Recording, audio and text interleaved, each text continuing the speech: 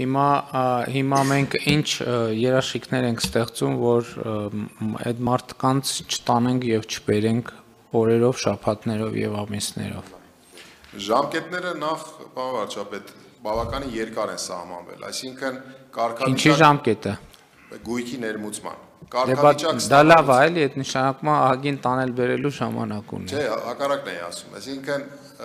կարգավիճակ ստանալուց հետո անձը 18 ամիս ժամանակ ունի իր անձնական գույքը տեղափոխի եւ օգտվի այս արտոնությունից։ Դրա մասն էի ասում։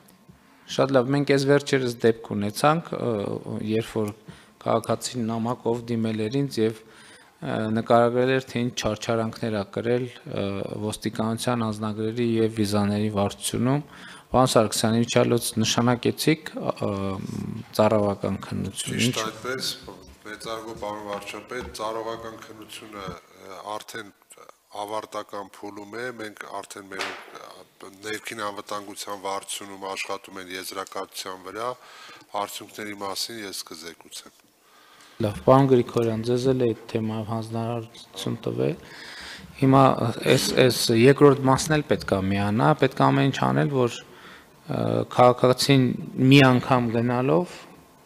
իր հարցերին պատասխան ստա։ Այստեղ սկզբունքը իմիջալոց ինչի մեջ է, պարոն Սարգսյան, եւ որ մենք պետք է ստեղծենք պայմաններ, որ քաղաքացին գերատեսչություն մի անգամ գնալով կարողանա իր հարցերի պատասխանը ստանալ։ Ընդ որում այստեղ էական չի ինչ ժամկետի մասին ենք մենք խոսքը, եթե քաղաքացին 1, 2, 3 անգամ գնում է եւ իր հարցի պատասխանը չի ստանում, դա մեծ խնդրեմ է եւ այդ հարցը պետք է լուծենք։ Այս ընթացքում դուք հասցրեցիք ասել, պարոն Գրիգորյանը առաջարկ արեց, որ on-line աշխատելու բան, այդ համակարգը on-line աշխատելու հնարավորություն ստեղծ քննարկել եք նման հնարավորություն։ Օնլայն կա, պարոն վարչապետ։ Ուղղակի դուք տեղը ասեցիք, ասեցի տեղը որտեղ է, եթե անձը գուզեի։ Իսկ on-line էլ կա։ Օնլայն իհարկե կա, այդ նույն հայ։ Այսինքն մարդը կարող է իսկ on-line մենք կացության կարգավիճակ շնորհելու բան ունենք,